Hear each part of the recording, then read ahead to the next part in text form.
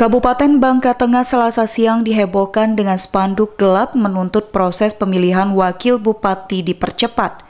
Spanduk gelap yang dipasang orang tak dikenal menarik perhatian sejumlah orang.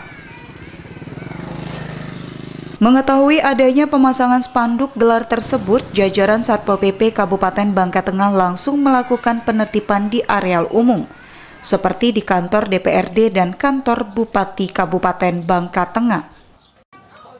Namun setelah dicopot, pemasang yang mengaku sebagai wartawan tabloid mendatangi kantor Satpol PP Kabupaten Bangka Tengah untuk mengambil kembali sepanduk yang dipasang tersebut. Pihak Pol PP Kabupaten Bangka Tengah langsung memberikan peringatan untuk tidak memasang kembali sepanduk di tempat fasilitas umum dan menyita sebuah spanduk sebagai barang bukti.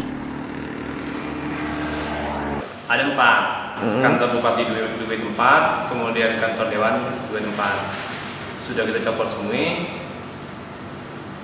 Dan yang masangnya juga dari masyarakat Bangka Tengah sih sebenarnya. Untuk yang di beberapa titik di Kecamatan Koba sendiri Pak sudah Kalau yang di luar selama mereka masangnya tidak pada tempat yang kita larang, tidak kita apa namanya tidak kita lepas.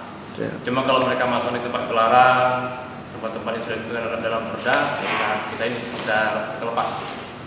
Kosongnya kursi Wakil Bupati Kabupaten Bangka Tengah sendiri telah terjadi kurang lebih 9 bulan terakhir setelah Bupati sebelumnya terpilih menjadi Gubernur Kepulauan Bangka Belitung.